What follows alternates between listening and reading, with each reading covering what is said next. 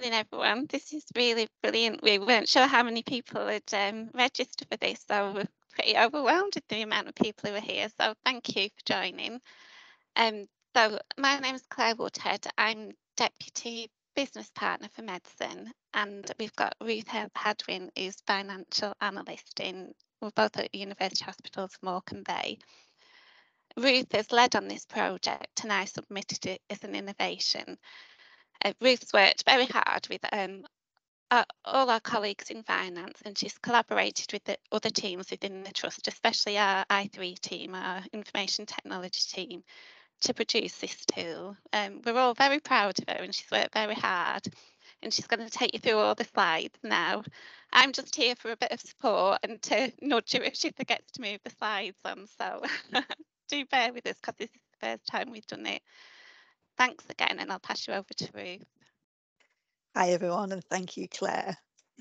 Um, so if we start with a bit of background about how we were managing our reporting and um, our budget reporting and also our scheme of delegation, which is our authorised signatory lists. So it's the responsibility of our financial management department to maintain lists of budget holders and authorised signatories for budget codes and staff who receive monthly budget reports, which is often a wider group than just the budget holders because other staff within the budget holders team can have authority to spend against the budget. So they need to be aware of the financial position too. So this information we collate is used by other staff, such as the AP team, our accounts payable team, to ensure compliance with the Trust's FSI's approval levels, and so that only approved staff are authorising expenditure from the relevant budget codes. In addition, an accurate list is necessary to ensure that the right staff receive monthly budget reports and their staff in post reports and can only access those reports that are relevant to them.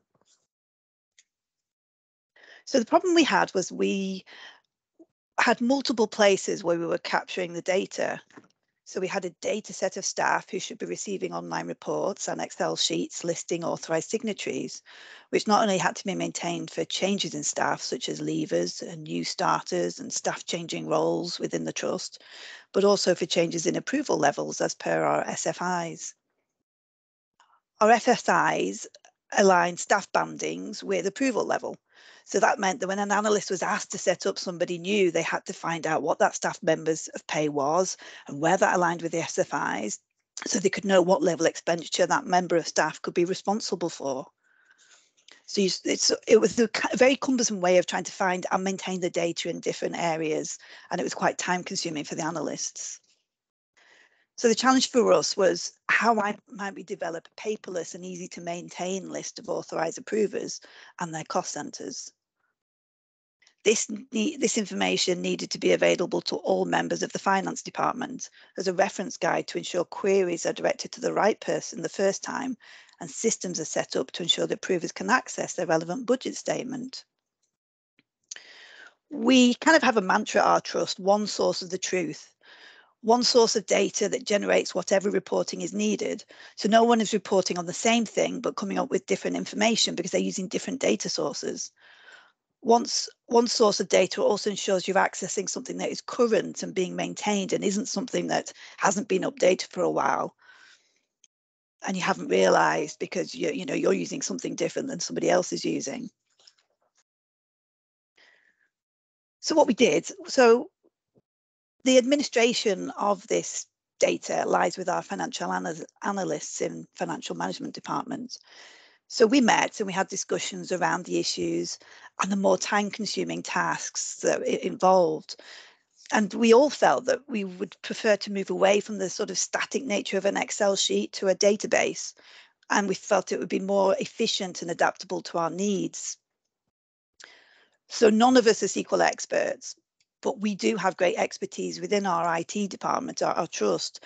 So it made sense to approach them and explain our brief and ask for some support. And once we had our IT bod, so to speak, we laid out what we hoped, what we did, what it was we were trying to do, what took us the most time, those um, time consuming areas, and what we hoped could be built into a system. So our IT colleague came up with some ideas and advised what we could do, what we couldn't do, but also came up with ideas that we hadn't even considered or wouldn't have even known could be done because you don't know what you don't know and was able to offer us op- options such as integration with our ESR, our payroll systems, and our email systems. So IT went away and they built us a database. And then they gave us it to t- test out, and we tweaked and modified it and met and chatted and how we found it. We fed back, it was tweaked, it was modified. And ultimately, we ended up with a sort of a new database system that was bespoke for our needs. So what we have now is we have a data set that fulfills several financial requirements from a single source. The data is live, it's constantly updated every time we're informed of a change, you know, from the care groups to make. And it's used for multiple purposes with and it links everything together between the finance ledger, our ESR staffing system, and the trust's email uh, server. And the ESR staffing, linking to that ESR staffing system was a real highlight for us analysts because it meant the finance database could it means eh, because you're linking to other trust systems, it means that information can appear automatically. So, such as a person's current work email or their pay scale. So, we weren't having to go away and do the manual work or the tra- manual trawl to try and find that information out. It was already feeding through from other trust systems. The system is updated by financial analysts as appropriate. And because the system is essentially a full piece of software, the finance teams can audit compliance. So we can see if budget holders are locking on to review their budgets and we can monitor their awareness of their budget positions. So what we have is we have accessible, up-to-date information that's easy to maintain and use, which optimizes staff time. And it's helped the accounts payable team also to process invoices faster because the signatory information is readily available in a report for them to access. We've adopted at the Trust currently, and we are still adopting or working on faster closing at month end. And this automated process of sending out budget reports has enabled us to meet tighter timeframes. And we're saving staffing time. I keep saying this because it's so important because the less time you're doing manual things, the more time you, as, as, as analysts are analysing rather than just collating information and it's removed a lot of the need for manual manipulation or manual searching out of data. We've been able to also, which especially during with COVID, following COVID times, and many of us are still working from home, and we've been able to manage the authorised signatory process efficiently while working off site, or we're a multi-site trust anyway, so we can access it securely from any location, wherever we may end up hot desking. So this is what the front end of our system looks like. This is what the analysts would access and uh, where they go in and administer.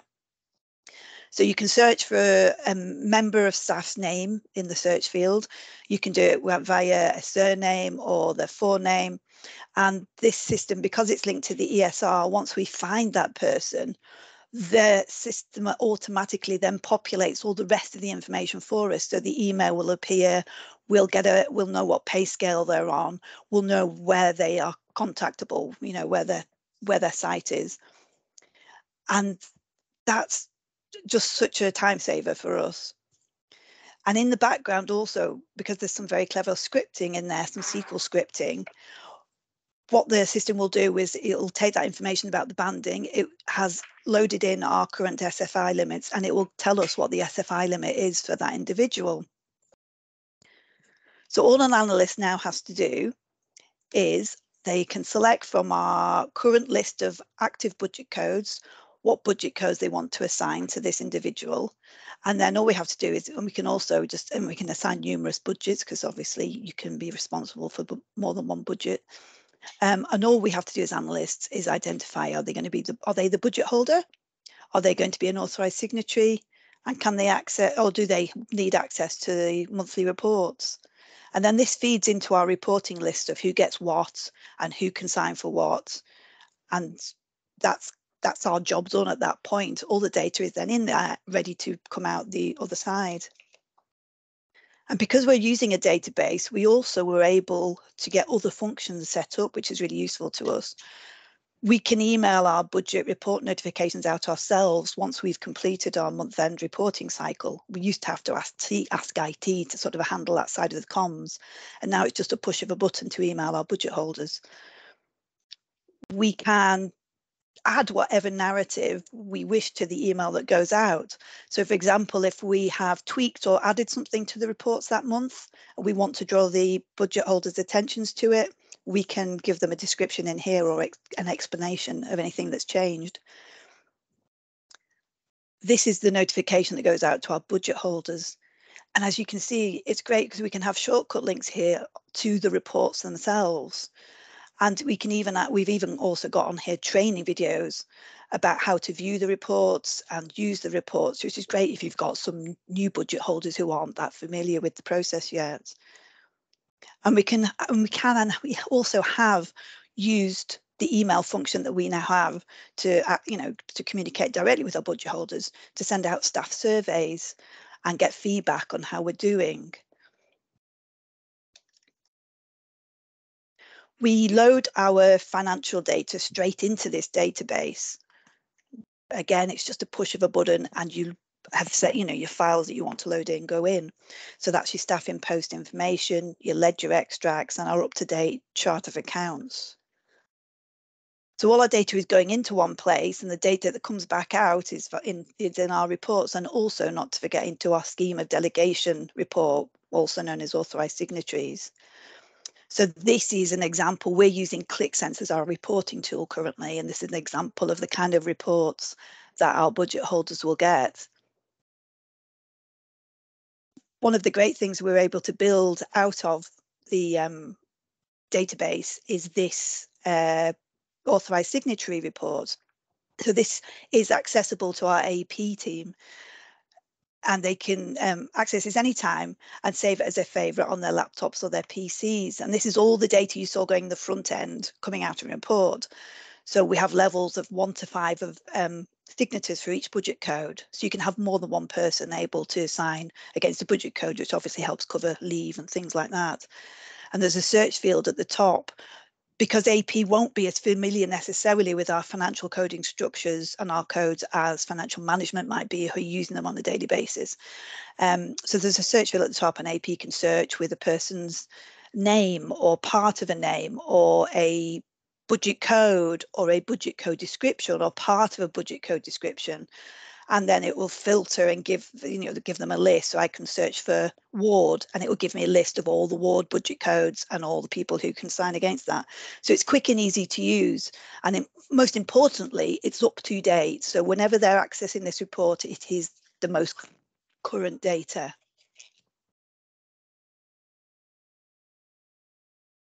so that's actually the end of our presentation. Um, this is just a little reference of some of the technologies that have been used to create our database. Um, obviously, much more um, much more technological of them, you know, because we've had the i3 colleague support. So they they are already in our i3 using things like Blue Prism and they use SQL Server databases all the time. So these are some of their applications and um, it's just having that collaboration and liaison with them has given us a great tool for us to be able to use within our finance team. And so I don't know if anybody has any questions, but Claire and I are happy to take any questions.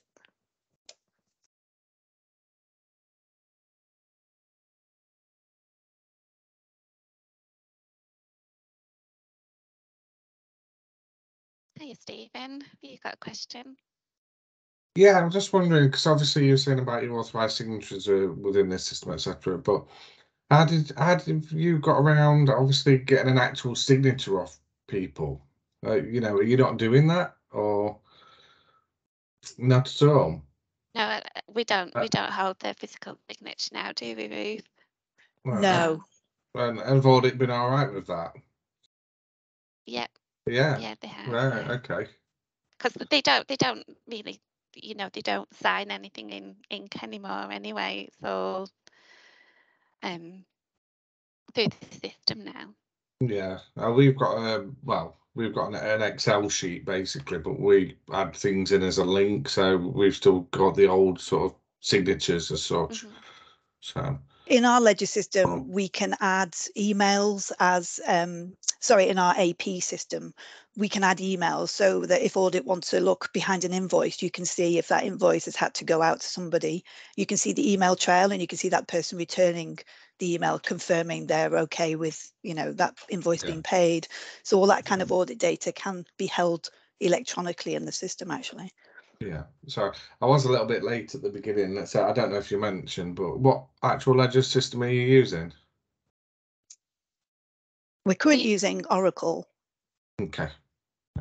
with a view to changing though quite Imminently, yeah. imminently, just because of a change in the whole sort of structure of the northwest sort of patch area anyway, and we're all going to sort of be on the same Oracle uh, ledger system going forwards in sort of Right. 2023, 20 into into the future. But this was built for Oracle, wasn't it? Yes. Yeah, yeah. Okay. All right. Thank you very much. Thanks, Stephen. Um, Paula, have you got a question? Um, I think you're on mute, Paula, sorry. Uh, yeah, it was just really just Sorry to ask what, that. what the report was, um, what, what you used for ESR. Was it a standard report? Did you say it was a staffing post or did you make your own report? The the ESR data set is um, so there's two things. We have um, our own staffing posts that we compile within our financial management department. And that is something that we're currently still doing in Excel, and then that is what we load into the system to create the staff report reposts that the um, that the budget holders see as part of their reports. But then the ESR, the thing that links into the authorized signatory, that is straight out of an ESR system that IT, you know, can link us into, and that's Mhm. just feeding in those bits of data about, you know, the staff details around their emails and their their pay grades and stuff. But in terms of the actual staffing posts that we load go load to go into the reports, we are compiling those ourselves still in financial management at the moment, with again with a view of electronic getting that sequeled up so that it can just be produced straight from our payroll reports, and that's our kind of next job. Oh, fantastic. No, good presentation. Thank you very much. Paul? Hi, it's Uh, Paula um, Hiya. Carr. Um, I was just wondering how you build um, escalation of invoices into your um, authorized signatory database. I know you said you could have multiple people um, under like a cost center and that, but is it is it to recognize the escalation of invoices if people are away and it goes up the scale, or if they're over a certain amount, you have someone sign at that level, but then it needs a secondary signature? I just wondered how you incorporated that. I don't know the answer to that one, do you, Ruth? I don't know for sure because that would need somebody from the AP to say how. We very much built it with their kind of idea of what would work for them. So I don't know for sure how they do that sort of escalation bit with it. But we But can, we can find out. them. Yeah. It would be really useful helpful question to know. Thank yeah. you. And so that's Thank you, Paula, isn't it? Yeah.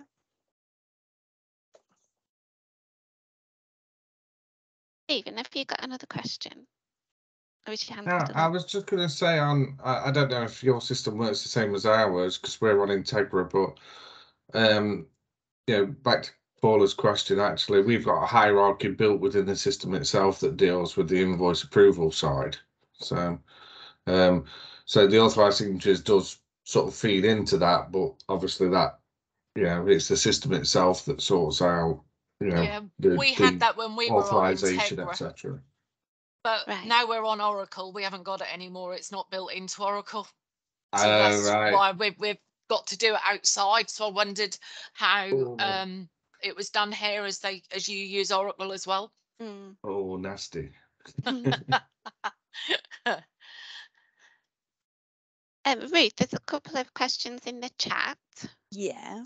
Yeah, and so the first one's, I think Paul, yeah, Paul's after his. So how do you differentiate differentiate between budget holders and authorized signatories? We've got that. We, yeah, so we've we um so at the end of the day the, the information comes to us via the care group or our you know departments out there um and they'll say oh can we have so and so they just started or whatever can they be set up as a and they will let us know whether they want them to be somebody who gets the monthly reports or has access to view the reports they'll i they'll say if they want them to be a signature and then we obviously just have that sort of um, front end screen where we can click whether we want them to get reports or to be a signature or both. And then there's a second part to that question. If this is ESR, how do you account for staff who work via the university on research and our budget holders?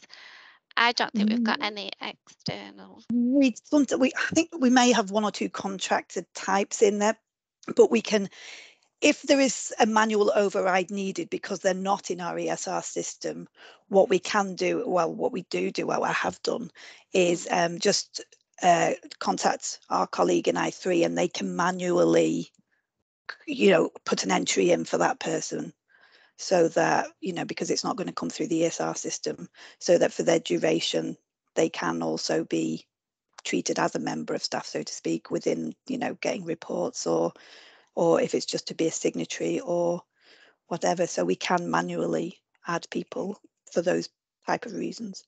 Oh, I didn't know that. Thank you. um, there is another question in there. Um, what SQL knowledge was required within finance for this project, or did you solely rely on IT for the server and SQL? At the moment, we solely Mhm. relied on i3, but the more you see that you can do with SQL, there is a little group of us in finance now, and we've recently been talking with colleagues at Blackpool who have been Mm. Doing a lot more SQL work within their finance department. We're very keen to kind of start to develop that within our sort of finance staff. Um, so we've sort of been signing up for some courses and things like that because it's something we would like to be able to do more of not taking away from the i3 department, but working with their help, so to, so to speak, but just gives us a bit more autonomy to once we've got maybe packages built up and stuff to be able to then maintain them ourselves, but also tweak them and uh, be a bit less reliant on them. Yeah. So, so once we've got things set up, we can sort of run with them ourselves if we have a bit more SQL knowledge. I think we were quite surprised in what was possible, weren't we? And Yeah. now, now we've seen a taster. We've got like um yeah, we've become more inquisitive and we want to know more for ourselves. We do. I mean, Blackpool, you know, they're doing all sorts of things like their journal feeds and stuff like that. They're sequeling in, aren't they, rather than sort of, well, sequel compiling their journals, so to speak. And so it's that kind of stuff. Again, anything that kind of takes away from that manualness of inputting data uh, and freeing up your time to be less just an administrator and more of an analyst is something we're really keen on because we want to spend more time looking at our position, not just getting the information in to see what it looks like. Brilliant. Um, uh, got another question that's come in. Uh, Um, just wondering how long it took from start to finish. Um, it wasn't that long. I think it was about two months or so. It was.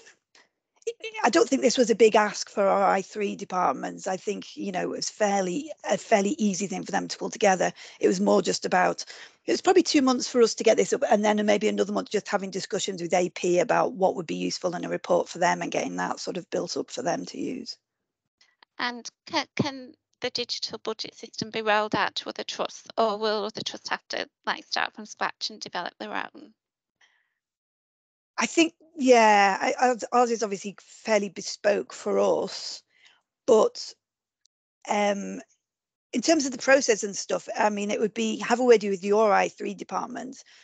And as I say, we've listed the kind of technologies used, and I don't know if that's stuff that all i3 departments, or I, we- sorry, we call them i3 because that's Mhm. the name of our IT department, um, because they're information, informatics, and innovation. Um, and I don't know if other trusts are using things like Blue Prism and stuff. It's a fairly newish um, sort of tool, I think, and robotics and that kind of stuff. So um, it is bespoke to us, but if there were questions people wanted to ask or if they wanted to know what sort of questions to put to their I3 department, we're happy to sort of, you know, compile a wee list of of uh, things that we asked our I3 and things that RI3 think other trusts can do or might be just very bespoke to our trust.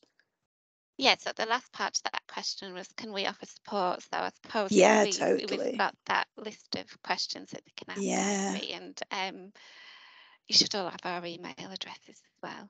Please ask us questions because um, we've we one thing we do have is a great IT department, and they are very innovative. So, you know, we're happy to sort of um, get their take on ideas that or things that they've done to help us that they can share with others.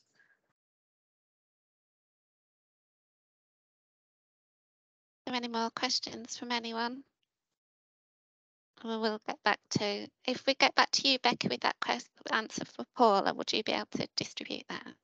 Yeah, of course, no worries. Brilliant, thank you. Thank you very much, Claire.